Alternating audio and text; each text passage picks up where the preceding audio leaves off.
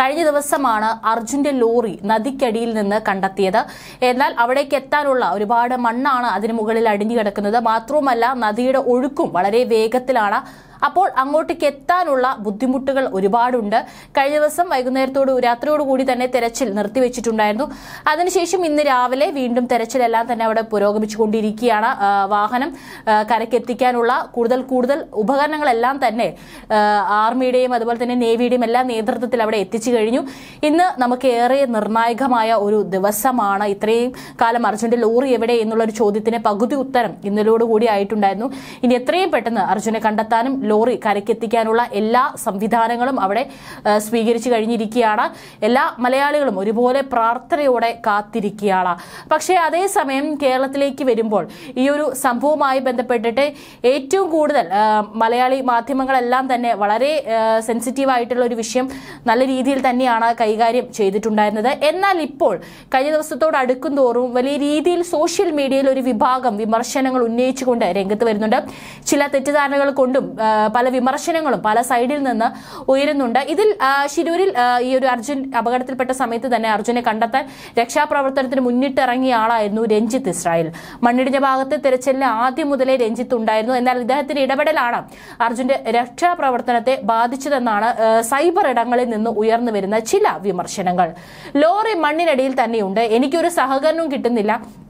ഞാൻ പറഞ്ഞു ഒന്നും വിട്ടുതരുന്നില്ല എന്ന് രഞ്ജിത്ത് മാധ്യമങ്ങളോട് പറഞ്ഞിരുന്നു. മാത്രമല്ല റഡാർ സംവിധാനത്തെ കുറിച്ചും രഞ്ജിത്ത് സംസാരിച്ചിരുന്നു. ഇതൊരു അമ്പലപ്പറമ്പിൽ കിട്ടുന്ന റഡാർ സംവിധാനം ഉപയോഗിച്ചുകൊണ്ടാണ് അവിടെ തിരച്ചിൽ നടത്തുന്നത്. അല്ലാതെ യാതൊരു വിധത്തിലുള്ള തിരച്ചിൽ സംവിധാനങ്ങളൊന്നും തന്നെ അവിടെ നടക്കുന്നില്ല എന്നൊക്കെ രഞ്ജിത്ത് മാധ്യമങ്ങളോട് പറഞ്ഞിരുന്നു.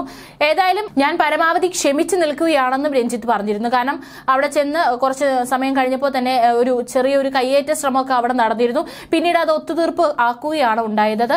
ഏതായാലും വണ്ടി കരയിലാകുമെന്ന് ഉറച്ചു വിശ്വസിക്കുകയാണ് ഞാനെന്നും രഞ്ജിത്ത് മാധ്യമങ്ങളോട് പറഞ്ഞിരുന്നു.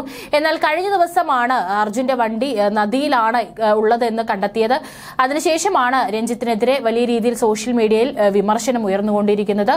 ഓരോ നേരത്ത് തോന്നുന്നത് അയാൾ പറയുന്നു. അയാൾ സംസാരിക്കുന്നത് മലയാളമായതിനാൽ അയാൾക്ക് ഇഷ്ടം പോലെ സ്പേസ് മാധ്യമങ്ങൾ നൽകുന്നുണ്ട്. പക്ഷെ ഏതൊരു നാടിനും അതിന്റേതായ സിസ്റ്റം ഉണ്ടെന്നും അതല്ലാതെ നിങ്ങളുടെ സങ്കല്പത്തിലെ പോലെ കാര്യങ്ങൾ നടക്കണമെന്ന് ഷടിക്കരുത് എന്നാണ് സൈബർ ഇടം പറയുന്നത്. ആവേശവും ഷോ ഓഫ് പാടില്ലെന്നും അതാണ് നിങ്ങൾക്ക് പറ്റിയ തെറ്റെന്നും സോഷ്യൽ മീഡിയയിൽ വിമർശനം രഞ്ജിത്തിനെതിരെ ഉയരുന്നുണ്ട്. ഏതായാലും ഇപ്പോൾ രാഷ്ട്രീയ നിരീക്ഷകനായിട്ടുള്ള ശ്രീജിത്ത് പണിക്കരും വിമർശനം ഉന്നയിച്ചുകൊണ്ട് രംഗത്ത് വരികയാണ്. അദ്ദേഹം ഒരു പോസ്റ്റ് ഇട്ടുകൊണ്ടാണ് വിമർശനം ഉന്നയിച്ചിരിക്കുന്നത്. ആ പോസ്റ്റിലെ വരികൾ ഇപ്രകാരമാണ്. ഇസ്രായേലിലെ അമ്പലപ്പറമ്പിൽ കിട്ടുന്ന റഡാർ എന്ന് പറഞ്ഞുകൊണ്ട് ഒരു ടോയ് റഡാറിന്റെ ചിത്രം പങ്കുവെച്ചുകൊണ്ടാണ് ഈ ഒരു വിമർശനം ഉന്നയിച്ചിരിക്കുന്നത്. മാത്രമല്ല അദ്ദേഹം മറ്റൊരു പോസ്റ്റ് കൂടി ഇട്ടിട്ടുണ്ട്. കരയിലെ മണ്ണിനടിയിൽ തന്നെയാണ് ലോറിയെന്നും അത് കുഴിച്ചെടുക്കാൻ ഞാൻ ചോദിച്ച ഉപകരണങ്ങൾ എനിക്ക് തന്നില്ലെന്നും മാക്സിമം ക്ഷമിച്ചാണ് നിൽക്കുന്നതെന്ന് മാണയിട്ട് പറഞ്ഞ ഇസ്രായേൽ പലസ്തീൻ ടീമുകളൊക്കെ പിരിഞ്ഞു പോയോ എന്നാണ് ഈ ഒരു പോസ്റ്റ്. ഏതായാലും അതിലൊരു ഇസ്രായേൽ പലസ്തീൻ പതാകയും വെച്ചുകൊണ്ടാണ് ഈ ഒരു പോസ്റ്റ് പങ്കുവച്ചിരിക്കുന്നത്. ഏതായാലും രഞ്ജിത്തിനെതിരെ വലിയ രീതിയിലുള്ള വിമർശനമാണ് ശ്രീജിത്ത് പണിക്കറും ഉന്നയിച്ചിട്ടുള്ളത്. അപ്പോൾ നിരവധി ആളുകൾ അതിന് താഴെ പോസ്റ്റിന് താഴെ കമന്റുകൾ പറയുന്നുണ്ട്.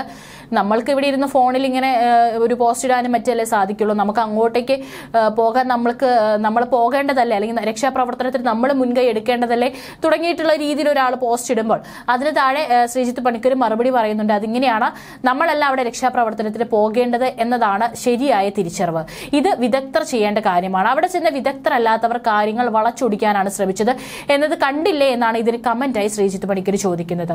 ഏതായാലും ഇപ്പോൾ രഞ്ജിത്ത് ഇസ്രായേലിനെതിരെ വലിയ രീതിയിൽ തന്നെ സോഷ്യൽ മീഡിയയിൽ സൈബർ ഇടങ്ങളിൽ ചില ഭാഗത്തു നിന്ന് വിമർശനങ്ങൾ ഉയരുന്നുണ്ട്. അതേസമയം മലയാളി മാധ്യമ പ്രവർത്തകൻ മര്യാദ പാലിച്ചില്ല എന്ന വിമർശനവും വരുന്നുണ്ട്.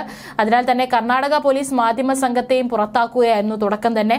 ചിട്ടയും അനുസരണയും ഇല്ലാതെ മരണ കേരളത്തിൽ മരണ വൈറ്റിൽ എന്ന പോലെ വാർത്താ ആഘോഷം നടത്തുകയായിരുന്നു ചില ആളുകൾ ആളുകളെന്നും മലയാള മാധ്യമ പ്രവർത്തകർ തന്നെ ആക്ഷേപം ഉയരുന്നുണ്ട്.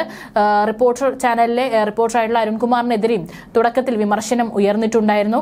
ഏതായാലും കേരള മോഡൽ രക്ഷാപ്രവർത്തനം ഡോഗ് ഷോ ഇപ്പോൾ റിപ്പോർട്ടറായ അരുൺകുമാറിനെതിരെയും രൂക്ഷ വിമർശനമാണ് ഇത്തരത്തിൽ കമന്റുകളുടെ രൂപത്തിൽ സോഷ്യൽ മീഡിയയിൽ നിന്ന് ഉയരുന്നത്. അതുപോലെ തന്നെ ശ്രീജിത്ത് പണിക്കരും അരുൺകുമാറിനെ വലിയ രീതിയിൽ കളിയാക്കിക്കൊണ്ട് ഒരു പോസ്റ്റ് ഇട്ടിട്ടുണ്ടായിരുന്നു. പുറകോട്ട് തിരിഞ്ഞു നിൽക്കുന്ന ഒരു തല മുട്ടയടിച്ച ഒരു മാധ്യമ പ്രവർത്തകന്റെ ചിത്രം പങ്കുവച്ചുകൊണ്ടാണ് മൊട്ടയെ കുത്തിത്തിരിപ്പ് ചേട്ടൻ എന്നാണ് ശ്രീജിത്ത് പണിക്കർ വിശേഷിപ്പിക്കുന്നത് പോലെയാണ് ഈ ഒരു പോസ്റ്റ് പങ്കുവച്ചിരിക്കുന്നത്. ഇത്തരക്കാരുടെ അമിത ആവശ്യവും ദുരന്ത സ്ഥലത്തെ ആഘോഷവും മലയാള മാധ്യമങ്ങൾക്ക് ഗ്രൗണ്ട് റിപ്പോർട്ടിങ്ങിന് തടസ്സമുണ്ടാക്കിയെന്നും നാണക്കേടായെന്നും പറയുന്നു. മറ്റ് സംസ്ഥാനത്ത് ചെന്ന് അച്ചടക്കമില്ലാതെ പെരുമാറിയെന്നും ആക്ഷേപം വരുന്നുണ്ട്. ആ ഒരു ശ്രീജിത് പണിക്കർ പങ്കുവച്ചിട്ടുള്ള പോസ്റ്റ് പ്രകാരമാണ് കർണാടക പോലീസിന്റെ ശ്രദ്ധയ്ക്ക് നിങ്ങൾക്ക് കിട്ടുന്ന ഏത് വിവരവും ഞങ്ങളുടെ കുത്തിത്തിരിപ്പ് ചേട്ടന് കൈമാറിയതിന് ശേഷം മാത്രമേ ഉന്നത ഉദ്യോഗസ്ഥരെ അറിയിക്കാൻ പാടുള്ളൂ. ചേട്ടന്റെ അനുമതി വാങ്ങിയതിന് ശേഷമേ കലക്ടർ എസ് പി അടക്കമുള്ളവർ എത്താവൂ. ചേട്ടനോട് പറയുന്ന സമയം നിങ്ങൾ പാലിക്കുകയും വേണം. അല്ലെങ്കിൽ അദ്ദേഹം മസാലദോശ കഴിച്ച് ഭരണഘടനയെ രണ്ടടി പിന്നോട്ട് നടത്തിക്കും. ജാഗ്രത എന്നാണ് പോസ്റ്റ്. ഏതായാലും ഇപ്പോൾ അതും വലിയ രീതിയിൽ തന്നെ വിമർശനങ്ങൾക്കിടയാക്കിയിട്ടുണ്ട് ഏതായാലും ആ, അവിടെ അർജുന് വേണ്ടിയുള്ള കാത്തിരിപ്പ് അല്ലെങ്കിൽ അർജുന്റെ രക്ഷാപ്രവർത്തനത്തിന് നല്ല രീതിയിൽ തന്നെ എല്ലാവരും ഒന്നിച്ച് അവിടെ സംഘടിച്ചുകൊണ്ട് എന്തെങ്കിലുമൊക്കെ ചെയ്യാൻ സാധിക്കുമോ എന്നൊക്കെ മാക്സിമം എല്ലാ കാര്യങ്ങളും ചെയ്തുകൊണ്ടിരിക്കുമ്പോഴാണ് ഇത്തരത്തിൽ സൈബർ ഇടങ്ങളിൽ ചിലർ നടത്തിയിട്ടുള്ള കാര്യങ്ങളിൽ വിമർശനങ്ങൾ ഉയരുന്നത്.